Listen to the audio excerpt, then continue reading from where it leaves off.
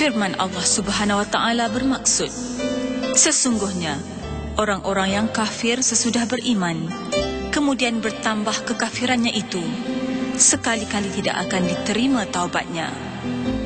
Dan mereka itulah orang-orang yang sesat. Sesungguhnya orang-orang kafir dan mati sedang mereka tetap di dalam kekafirannya. Maka tidaklah akan diterima dari seseorang pun di kalangan mereka. Emas sepenuh bumi walau ia mahu menebus dirinya dengan emas yang sebanyak itu. Bagi mereka itu siksa yang pedih dan sekali-kali mereka tidak akan beroleh penolong.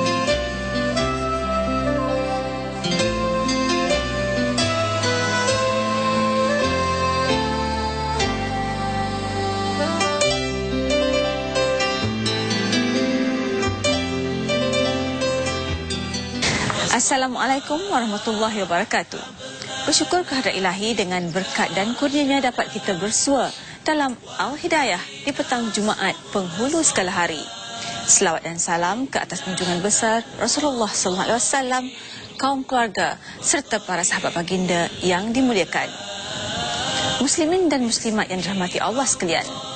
Firman Allah Subhanahu Wa Taala melalui surah Al-Baqarah ayat 110 yang bermaksud Dirikanlah sembahyang dan bayarkanlah zakat dan apa-apa yang kamu usahakan di antara kebaikan untuk dirimu. Nescaya kamu peroleh pahalanya di sisi Allah. Sesungguhnya Allah maha melihat apa yang engkau kerjakan. Menerusi segmen mencari berkat pada hari ini, apa kata kita ikuti sambungan perbincangan kemanisan berzakat yang akan disampaikan oleh yang berbahagia Ustaz Halim Din.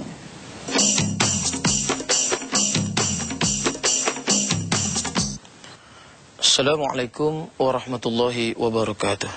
Alhamdulillah wa kafa. Salatan wa salaman ala nabiyil mustafa wa ala alihi wa ashabihi al-akhyar. Alhamdulillah bertemu kita di dalam rancangan Al-Hidayah dan di dalam segmen mencari berkat. Baik tuan-tuan dan puan-puan sidang penonton yang dirahmati Allah sekalian. Bila mana yang disebut sebagai perkara ibadah yang difardukan oleh Allah terhadap umat Islam itu dikenali sebagai ibadah zakat. Kita lihat Rasulullah SAW menekankan ketika itu di Madinah supaya orang-orang yang beriman kepada Allah segera mengeluarkan zakat dengan tujuan sebenarnya untuk menjadikan orang-orang Islam ini dalam keadaan mereka ini dalam dalam keadaan mereka berdikari dan mereka sudah boleh mendapat ya, ketetapan perbelanjaan yang mereka perlukan.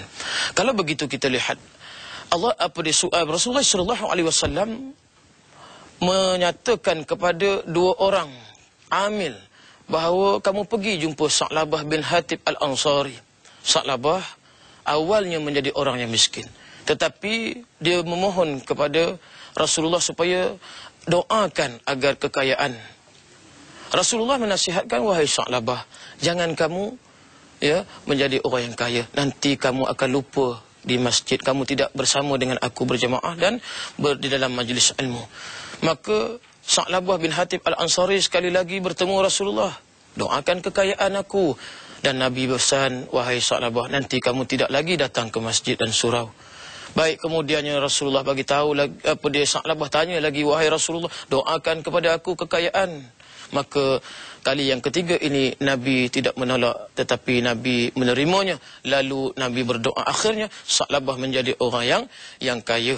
Kemudiannya bila mana kekayaan penternakan kambing yang membiak lalu Rasulullah hantar dua orang amil pemungut zakat untuk memungut zakat daripada Sa'labah apakah daya bila kekayaan sudah menjadi menjadi sesuatu keinginannya akhirnya kekayaan itu melemahkan iman Sa'labah dan tidak dia enggan mengeluarkan zakat. Dua orang pemungut zakat ni berjumpa ya Rasulullah Sa'labah tidak mahu mengeluarkan zakat. Ini sebagai satu contoh.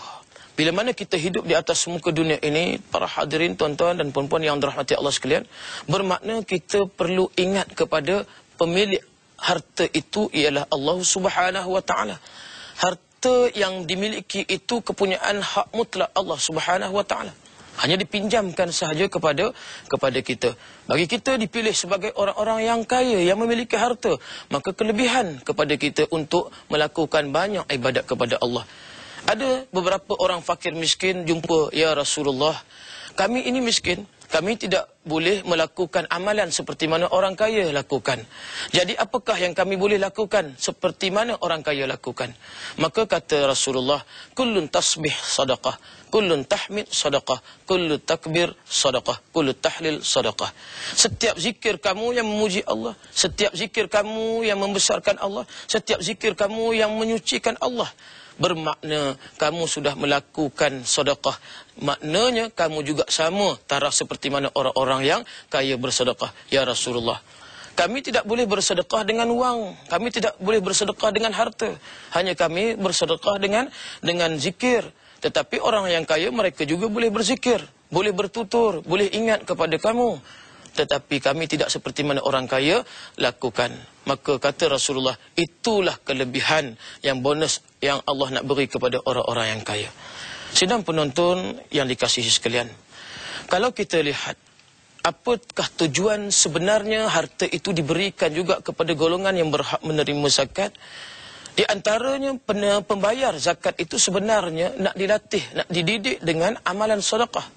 Dan bagi mereka yang ada jurang di antara orang yang kaya dengan orang yang miskin maka nak menghilangkan sifat dendam sifat uh, yang yang sifat yang memusuhi orang-orang yang kaya. Jadi Allah Subhanahu Wa Taala nak buang segala perkara-perkara pemisahan jurang yang ada di antara orang yang kaya dan orang yang miskin oleh yang demikian itu bila Allah Subhanahu Wa Taala wajibkan kepada orang yang berharta mengeluarkan zakat maka mereka ini sebenarnya dipilih oleh Allah untuk menjadi pendamai untuk menjadi manusia yang memad, yang memberi perpaduan di dalam sosio masyarakat. Bermaknanya bila mana kita berzakat Allah Subhanahu Wa Taala memilih kita sebagai golongan yang yang melakukan ibadah dan kita lakukan dalam keadaan yang yang ikhlas. Ada setengah pembayar zakat membayar zakat mereka. Kerana apa? Kerana nak keluar daripada ya tuntutan income tax. Ada ya kalangan pembayar zakat gaji niat mereka bukan kerana Allah tetapi kerana rebate income tax. Jadi kita kena perbetulkan niat. Jadi kita jadikan apa yang kita lakukan itu sebagai ibadah yang diterima oleh Allah Taala. Barulah ada manisnya pada ibadah tersebut.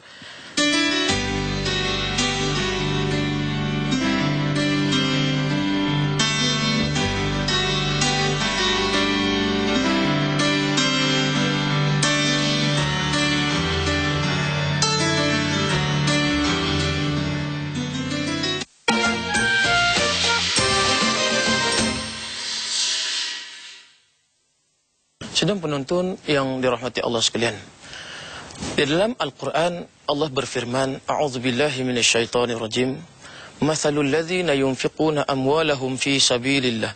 Kamathali habbatin ambatat sab'a sanabila fi kulli sumbulatin mi'atu habbah. Wallahu yudha'ifu liman yasha. Wallahu wasi'un alim. Sadaqallahul azim. Surah al-baqarah ayat 261 yang bermaksud perumpamaan orang-orang yang membelanjakan harta mereka di jalan Allah. Seperti mana seorang yang menanam sebiji benih di atas tanah yang subur kemudian menumbuhkan tujuh tangkai. Dan setiap tangkai itu membuahkan seratus buah yang yang baik. Dan Allah berhak untuk memberi lipat melipat gandakan kepada mereka yang Allah kendaki dan sesungguhnya Allah luas pemberian kurniaannya dan lagi maha mengetahui. Tuan-tuan yang dirahmati Allah sekalian, apakah kita lihat kepada firman Allah ini sebagai suatu motivasi kepada kita. Kita mengeluarkan zakat bermakna kita menolong orang-orang yang susah. Bila mana kita mengeluarkan zakat, kita mendorong diri kita, melatih diri kita sebagai seorang yang mudah untuk bersedekah. Begitu juga bila mana kita berzakat, kita nak menghilangkan dosa-dosa yang telah kita lakukan serta kita nak menyucikan daripada akhlak-akhlak yang tidak baik. Kalau begitu, sesungguhnya apa yang disebut oleh Allah Subhanahu Wa Taala itu bermakna orang yang mengeluarkan zakat tidak miskin sebenarnya. Orang yang berzakat itu tidak fakir sebenarnya. Lagi banyak uang yang dikeluarkan, lagi banyak sebenarnya kekayaan yang Allah berikan kepadanya. Berdasarkan firman Allah tadi, bila mana Allah sebut, ya sesungguhnya orang yang mengeluarkan zakat itu nanti akan dilipat gandakan rezekinya yang mana mereka ini sudah menjadi hamba yang bersyukur. Barulah kita melihat kepada apa yang disebut hikmah, apa yang disebut rahsia. Berzakat itu sebenarnya ada seribu satu hikmah yang ada. Dan juga bila mana kita melihat kepada konsep ibadah zakat itu sebenarnya nak memberi kesejahteraan hidup. Bila mana kita berzakat tuan-tuan, hidup kita senang.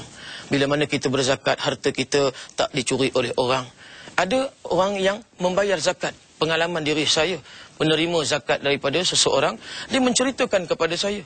Dia kata, Ustaz, saya baru daripada uh, nak pergi ke bank nak masukkan duit perniagaan saya sebanyak 50 ribu cash money. Ya. Kemudian saya nak pam saya punya tayar kereta kerana lembik sikit. Lalu ada orang yang datang tiba-tiba buka pintu belakang dan dia ambil duit 50 ribu tadi dalam keadaan saya tak sedar. Akhirnya saya muhasabah. Saya balik ke rumah saya fikir-fikir oh kok aku ni hidup dah lama aku hidup dah 30 40 tahun. Aku tak pernah keluarkan zakat. Bila mana dia datang dia yakin bahawa ibadah zakatlah sebenarnya sebagai pembantu kita untuk kita menghilangkan diri kita daripada cengkaman hidup yang tidak bermatlamat. Kita nak menghilangkan diri kita daripada hidup yang berpura-pura, nak menghilangkan diri kita daripada hidup yang tidak ada panduan. Bila mana dia mengeluarkan zakat, lalu air mata mengalir menunjukkan bila mana ibadah zakat yang dilaksanakan itu Allah memberi rahmat ke atas dia dan Allah sayang kepada dia tangisan itu bererti sebagai tangisan kemanisan yang sudah dilaksanakan sebagai tuntutan kepada seseorang mukmin. Oleh itu maka bila mana kita mengeluarkan zakat sebenarnya harta kita dijamin oleh Allah dalam keadaan selamat, kemudian umur kita dalam keadaan diberkati oleh Allah Subhanahu Wa Taala, rezeki mencurah-curah ya, kemudiannya kita dalam keadaan orang yang bertambah-tambah syukurnya kepada Allah Subhanahu wa taala. Lebih-lebih lagi tuan-tuan, kalau kita menjadi orang yang mudah segera memahami perintah Allah, maka kita tidak lalai dan kita tidak lengah-lengahkan. Jangan tiba setahun lapan bulan baru teringat tempoh setahun aku dah sepatutnya aku keluarkan zakat tetapi aku tidak mengeluarkan zakat. Ah ini kita kena fikir balik. Aku mesti segerakan mengeluarkan zakat, ya. Begitulah keadaan kita hidup. Sesungguhnya Allah Subhanahu wa taala memberi keberkatan kepada kehidupan kita. Kalau kita memikirkan bahawa hak harta itu sebahagiannya dimiliki oleh orang-orang yang fakir dan miskin. Seperti mana firman Allah Subhanahu wa taala di dalam Al-Quran. Wa fi amwalihim haqqul lisaili wal mahrum. Sesungguhnya Allah menyatakan pada harta mereka itu ada hak kepada orang-orang yang meminta dan ada hak kepada orang-orang yang tidak cukup perbelanjaan mereka. Inilah mereka yang dalam keadaan susah dan miskin. Kalau begitu kemiskinan yang ada pada masyarakat kita hari ini boleh dibantu boleh dibangun membangunkan ekonomi mereka dengan adanya ya ibadah zakat dengan adanya pusat zakat dan sebagainya maka kita nak menjadikan ibadah zakat ini sebagai suatu ibadah yang cemerlang ibadah yang gemilang ibadah yang terbilang. Dan kita lihat kaitan dengan ibadah zakatnya cukup cukup dekat. Sampai Allah letakkan di dalam Al-Quran 82 tempat di dalam Al-Quran kaitannya aqimus salata wa atuz zakah. Dirikan solat dan tunaikan zakat Mudah-mudahan kita menjadi hamba yang bertakwa dan dipilih oleh Allah di kalangan orang-orang yang abrar. Setiap apa yang dikerjakan pasti akan mendapat balasan. Yang penting untuk mendapat keberkatan dalam membelanjakan sumber keuangan yang diperolehi dari jalan yang halal adalah keikhlasan hati. Semoga apa yang disampaikan tadi dapat dijadikan petunjuk untuk kita menjana kehidupan yang lebih cemerlang. Bukan hanya di dunia, malah di akhirat juga. Al-Hidayah berehat seketika kembali selepas ini.